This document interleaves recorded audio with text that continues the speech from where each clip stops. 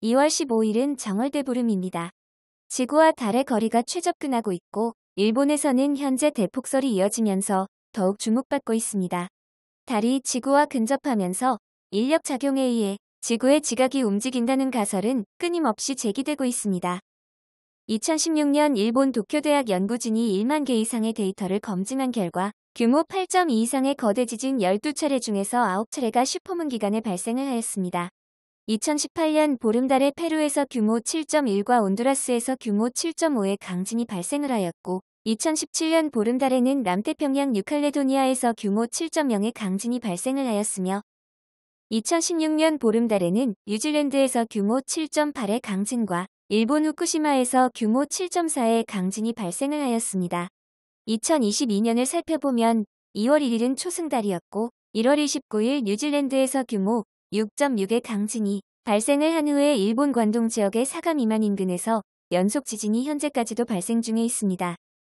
해와 달이 같은 방향에 놓이게 되는 음력 1일경이나 서로 반대 방향에 놓이게 되는 음력 15일경이 기조력이 가장 커지는 시기입니다.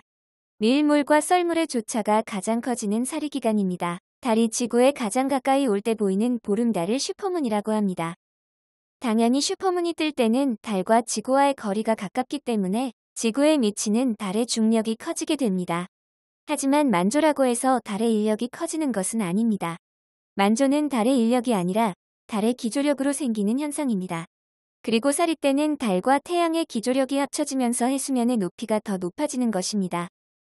일부 학자들의 연구에 의하면 대규모 지진들이 사리 기간에 일어난 경우가 많다고 합니다. 기조력은 양쪽으로 당기는 힘이고 결국 기조력이 강해질수록 지구에 균열이 생길 가능성이 높다는 주장입니다. 물론 작은 천체가 중력이 센 천체에 가까이 접근하게 되면 기조력이 세지고 이 힘이 결국은 천체를 파괴합니다.